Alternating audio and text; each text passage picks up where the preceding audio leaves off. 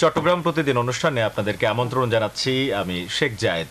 চট্টগ্রাম থেকে চট্টগ্রামের বিভিন্ন গুরুত্বপূর্ণ বিষয় নিয়ে আমরা প্রতিদিন কথা বলে থাকি। চট্টগ্রামের আঠারো হাজার সাতশোরও বেশি খামারি প্রধানমন্ত্রী ঘোষিত প্রণোদনা। এই করোনা মহামারী কালে তারা যে বিভিন্নভাবে লোকসানের শিকার হয়েছেন এবং অনেক কষ্টের মধ্যে ছিলেন, তাদের জন্য কিছুটা উৎসাহ দেয়া সেই লক্ষ্যে প্রধানমন্ত্রী ঘোষিত যে প্রণোদনা, সেটি কিন্তু পাচ্ছেন আঠারো হাজার সাতশোর বেশি, অর্থাৎ প্রায় উনিশ হাজার খামারি সেটি পাচ্ছেন এবং তাদের মোবাইলে মোবাইলে সেই টাকা চলে যাচ্ছে। এটি একটি বিষয়। আরেকটি হচ্ছে চট্টগ্রামে প্রাণীজ আমিষের চাহিদা পূরণে প্রাণী সম্পদ বিভাগের তত্ত্বাবধানে যে খামারিরা খামার করছেন বা যে কৃষক কৃষানীরা বাড়িতে ছোট্ট পরিসরে গরু, হাঁস, মুরগি পালন করছেন। সেটির অবস্থা কি এবং প্রাণীজ আমিষের চাহিদা চট্টগ্রাম থেকে কতটুকু পূরণ করা যাচ্ছে? এই বিষয়গুলো নিয়ে আমরা আজকে কথা বলব। আমাদের সঙ্গে দুজন অতিথি আছেন স্টুডিওতে। আছেন আমার ডান পাশে ডাক্তার মোহাম্মদ রিয়াজুল হক জেলা প্রাণী সম্পদ অফিসার। আপনাকে আমন্ত্রণ জানাচ্ছি আমাদের আয়োজনে। হ্যাঁ। আমার বা পাশে আছেন মোহাম্মদ নাজিমউদ্দিন হায়দার সভাপতি চট্টগ্রাম ডেইরি ফার্মস অ্যাসোসিয়েশন। আপনাকেও আমন্ত্রণ জানাচ্ছি। ধন্যবাদ। আহ, শুরুতে একটু তথ্য দিতে চাই। আহ, তথ্যটি হচ্ছে সারা বাংলাদেশে চার লাখ সাত হাজারের বেশি খামারি কিন্তু প্রধানমন্ত্রী ঘোষিত এই প্রণোদনা পাচ্ছেন। চট্টগ্রামেও আমরা দেখেছি কয়েক হাজারের মতো এখানে খামার আছে, যেখানে আঠারো হাজার খামারি যেহেতু পাচ্ছেন, উনিশ হাজারের মতো খামারি এখানে প্রণোদনা পাচ্ছেন। সেই হিসেবে কিন্তু এখানে খামার আরও বেশি আছে ছোট বড় পরিসরে।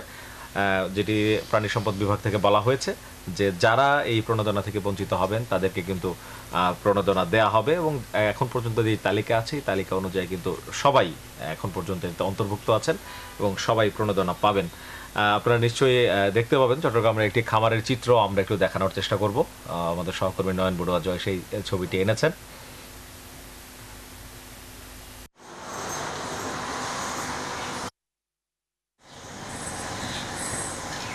চিত্র যে দুগ্ধ খামার মূলত চট্টগ্রামে বাংলাদেশে যে নাম করা দুগ্ধ প্রস্তুতকারী প্রতিষ্ঠানগুলো আছে, দুধ উৎপাদন করে, যারা এই প্রতিষ্ঠানগুলো কিন্তু বেশ কয়েকটি চট্টগ্রামে আছে, এবং স্থানীয়ভাবে কিন্তু খামারিরাও বেশ জোরে সোরে কিন্তু এখানে এই প্রাণীজ আমিষ উৎপাদনে জোর দিয়েছেন। আমরা কথা বলব আমাদের অতিথিদের সঙ্গে।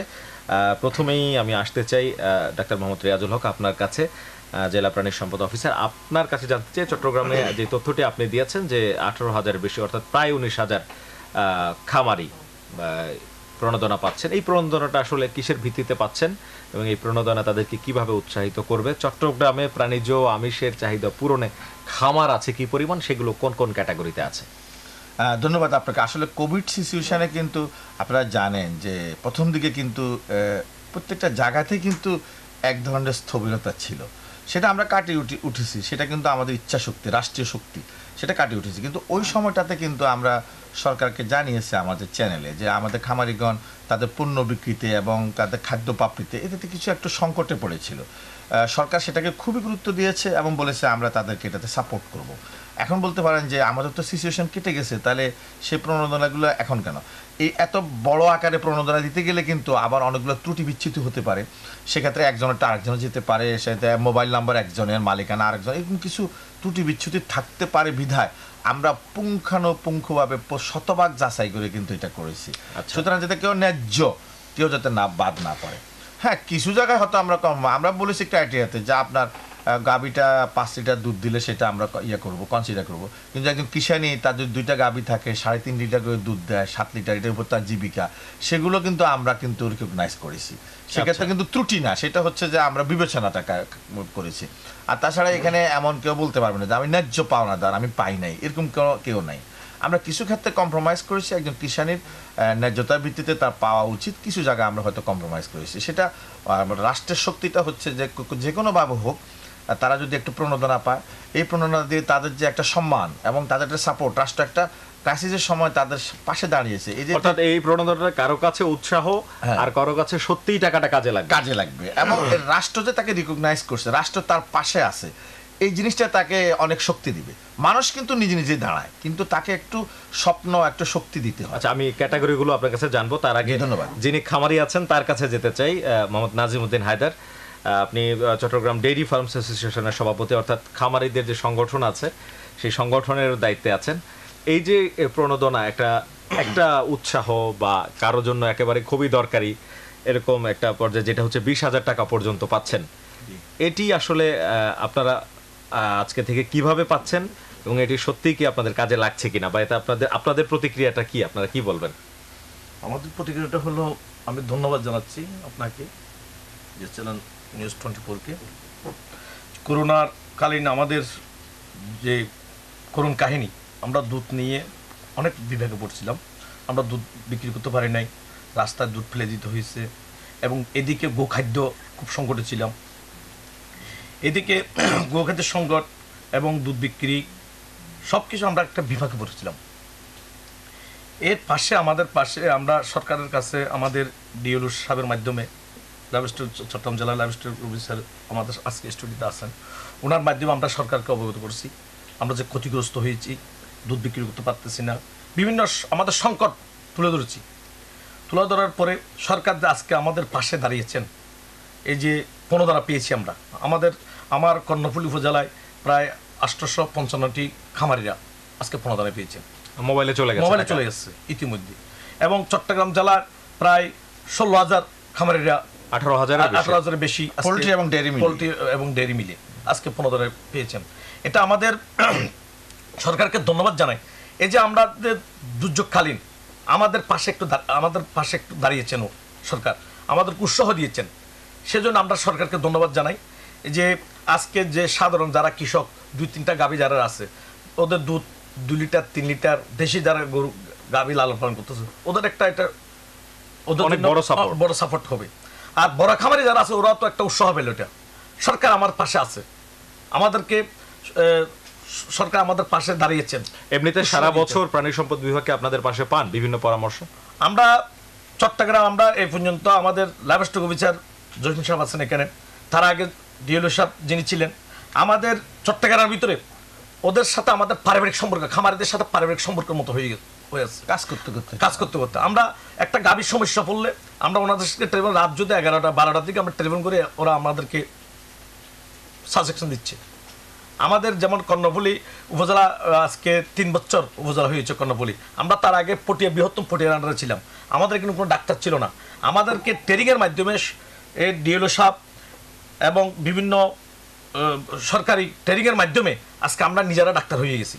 আমাদের ওখানে ডাক্তার ছিল না। আচ্ছা। আমরা মানে নিজেরা এখন- আপনারা এই ট্রিটমেন্ট করতে পারেন। হ্যাঁ, treatment করতে। এটা তো প্রাথমিক যে চিকিৎসা প্রাথমিক। এই যে প্রাথমিক কথা হুম। treatment তো আমরা দিতে পারছি। এটা তো সহযোগিতা আজকে প্রাণী সম্পদ কর্মকর্তাদের সহযোগিতা। আচ্ছা জনাব রিয়াজুল হক আপনার কাছে জানতে চাই এই যে আঠারো হাজার সাতশোর বেশি কৃষক খামারি এটি পাচ্ছেন এই ক্যাটাগরিগুলো জানতে চাই কোন কোন কি ধরনের খামারি আছে? আপনার কাছে একটি তালিকাও আছে দেখতে পাচ্ছি। হ্যাঁ তালিকা আছে। আমি এটা একটু ক্লারিফাই করি যে আমরা এখানে সরকার কিন্তু নানা বিবেচনা করেছে।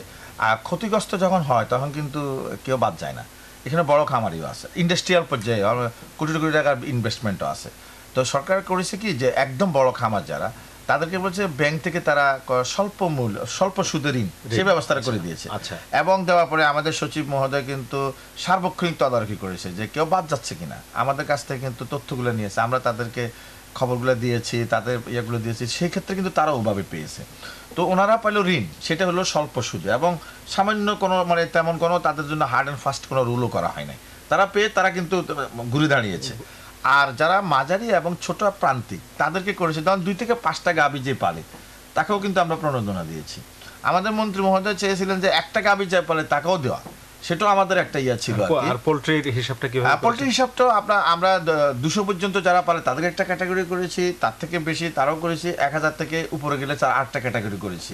সেভাবে করে কিন্তু আমরা তার প্রণোদনার পরিমাণটাকে একটু বিভাজন করি।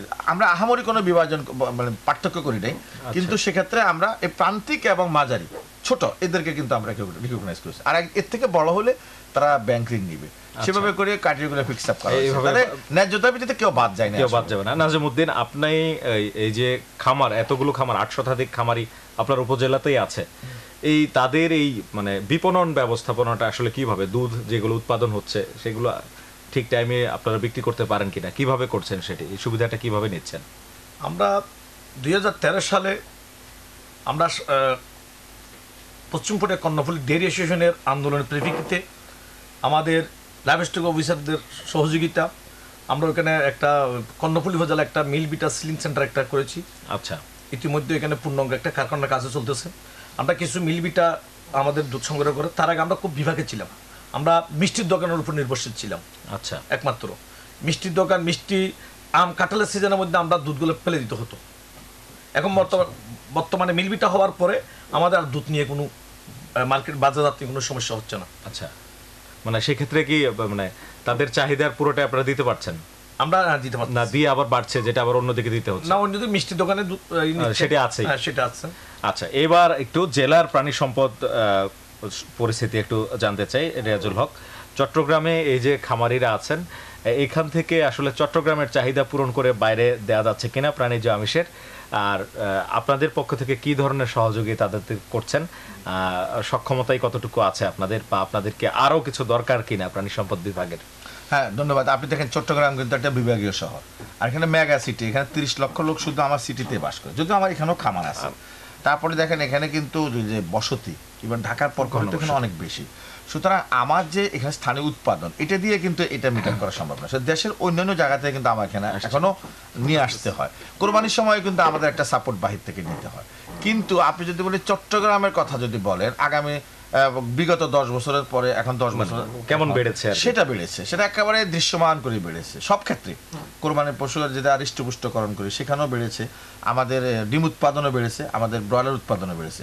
কিন্তু যেহেতু চট্টগ্রাম একটা বিভাগীয় শহর এটা একটা মেগা সিটি এখানে আপনার শহরে আমরা ছাদের উপরেও ছাগলের খামার আমরা চেষ্টা করে যাচ্ছি। আমার এই শহরের মধ্যেও কিন্তু আমার অনেক খামার আছে। সুতরাং আমরা এখনও কিছুটা আমরা বাহির থেকে আচ্ছা শহরে কীভাবে কাজ করছেন আপনারা? শহরে আমরা কাজ করছি দেখেন আপনার পতঙ্গা এলাকাটা কিন্তু এখনও গ্রামীণ একটা ইয়ে আছে। সেখানে যেখানে যে আমাদের মাননীয় প্রধানমন্ত্রী কি বলেছেন? যে একটা ইঞ্চি জায়গা খালি রাখা যাবে না। আমরা কিন্তু সেই মুডে কাজ করছি। যেখানে যেটুকু অপরচুনিটি যার একটু যেমন হোমস্টেটা আছে সেখানে দুইটা গাবি পালবে যদি আরও কম থাকে একটা গাবি পালবে আর যদি মনে করি এর সাথে যদি দশটা মুরগি রাখা যায় যেটা আমরা ব্যাকইয়ার্ড পোল্ট্রি বলি সেটাও আমরা এনকারেজ করছি। আপনি অনেকগুলো রিপোর্ট করেছেন ছাদের উপরে এখন করছেন। সেক্ষেত্রে হ্যাঁ ছাদের উপরে যখন করতে যাবে তখন আমরা বড় আকারে করতে দিচ্ছি না কারণ তাদের একটু মানে ওয়াকিং স্পেস লাগে তাদের একটা স্মার্ট লাইফ স্টক আমরা একটু দুইটাকে আমরা সমন্বয় করে কীভাবে এটা করা আমরা সেগুলো করছি। প্রতিনিয়ত আমরা পরিবর্তন করে। যাচ্ছি। সেক্ষেত্রে শহরকে কি ভাগ করে নিয়েছেন আপনারা? আমরা সরকারি তিনটা আমাদের প্রশাসনিক ভাগ আছে আমাদের লাইফ আচ্ছা।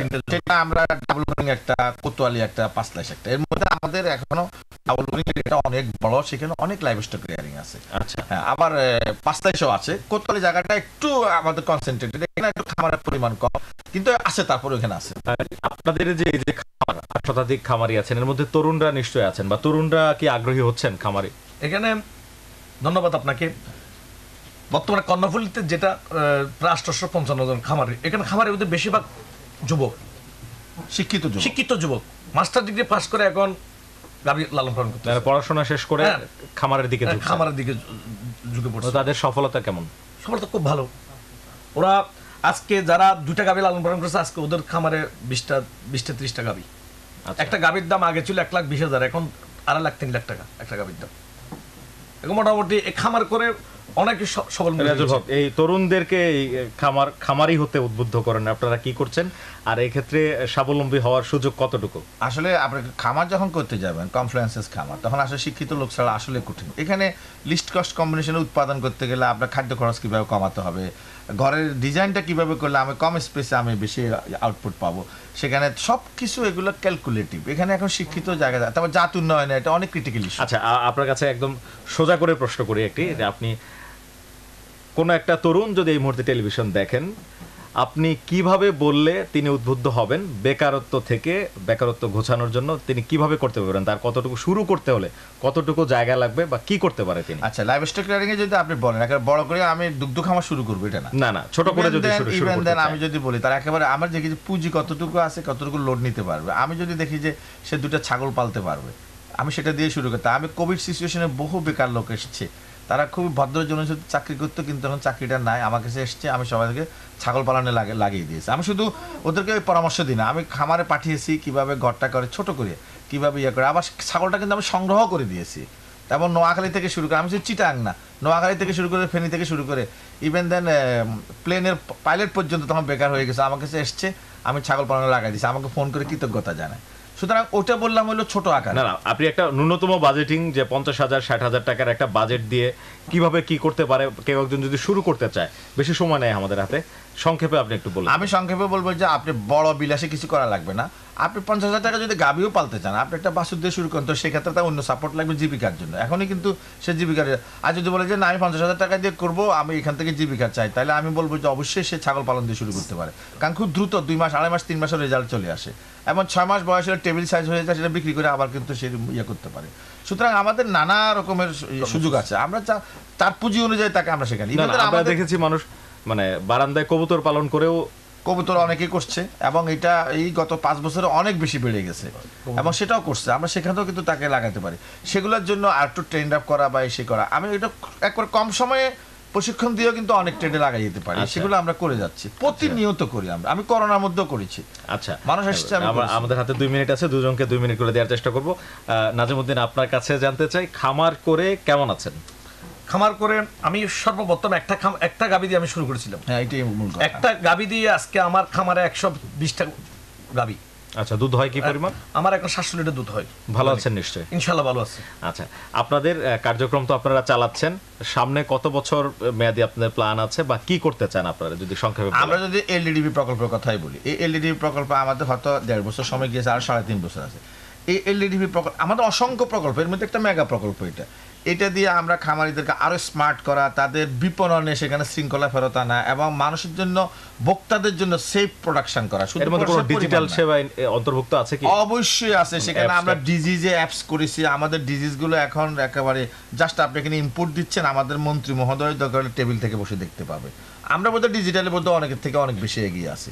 ইভেন দেন আমরা যে প্রণোদনার টাকাটা দিচ্ছি এটা একদম ডিজিটালি দিচ্ছি। কেউ কোনো কথা বলার কোনো সুযোগ নাই। এবং মানুষ স্মাইলিং সিচুয়েশন সবাই বলছে গর্ব একটু সময় লেগেছে অনেকের মধ্যে ছিল। কিন্তু আজকে পাওয়ার পর অসংখ্য আমার এখানে দেখেন স্ক্রিনশটে সবাই শুধু ধন্যবাদ দিয়ে পাঠাচ্ছে ভালো লাগছে আপনাদেরকে অনেক ধন্যবাদ আমাদের স্টুডিওতে আসার জন্য। জি, আপনাকে ডাক্তার রিয়াজুল হক এবং মোহাম্মদ। নাজিমুদ্দিন হায়দার। আমরা কথা বলছিলাম চট্টগ্রামের প্রাণী সম্পদ ব্যবস্থাপনা নিয়ে। প্রধানমন্ত্রীর প্রণোদনা পাচ্ছেন আঠারো হাজারের বেশি খামারি চট্টগ্রামে যারা খামার করে সফলতা অর্জন করেছেন কেউ হয়তো লোকসানে পড়েছেন। সবার জন্য কারও জন্য উৎসাহ কারোর জন্য একেবারেই অনেক বেশি দরকারি এই প্রণোদনার টাকা। যেখানে এই টাকাটা বিশ হাজার টাকা পর্যন্ত পাচ্ছেন। আর যারা অনেক বড় খামারি তাদের জন্য ব্যাংক ঋণ সহ নানা সুবিধা রয়েছে।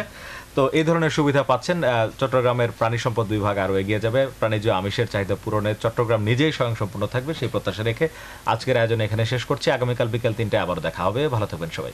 ধন্যবাদ ধন্যবাদ।